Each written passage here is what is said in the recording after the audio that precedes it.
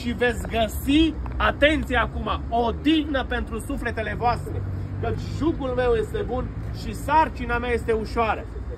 Dragii mei, oameni buni, oameni creează Dumnezeu, creează Dumnezeu. Iisus Hristos vă iubește foarte mult și așa cum am spus și în gară, vă mai spun încă o dată.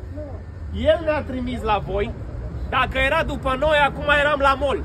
Eram, ne duceam pe terase fiecare să mâncăm ceva, să ne plimbăm, uite e și frumos afară, dar Domnul ne-a spus să venim aici și să vă vestim dragostea Lui, că El vă iubește și vrea să vă dea un viitor și o nădejde.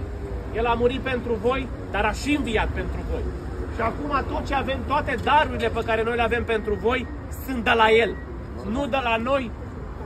Slăvit să fie Dumnezeu că și noi suntem binecuvântați, muncim și uite că putem să dăm ceva pentru cei care au nevoie. Domnul Isus a spus așa, că pe săraci îi veți avea întotdeauna. Dar eu mă rog pentru voi să fiți săraci în Duhul, să aveți o inimă pregătită și atunci când știți că vine necazul și mai e ceva, atunci când știți că se apropie finalul vieții, să strigați la El și să spune, Doamne Iisuse, iartă-mă și pe mine păcătosul și El te va ierta și te va mântui și îți va da o viață veșnică Amin. și niciodată nu se va sfârși și acolo te vei bucura Amin. în prezența Regelui. Dumnezeu să vă binecuvânteze și haideți împreună acum cu toții să ne rugăm Tatăl nostru. Tatăl nostru care ești în cer, sfințească-se numele Tău, fie împărăția Ta, facă-se voia Ta, precum în cer, așa și pe pământ. Pâinea noastră cea de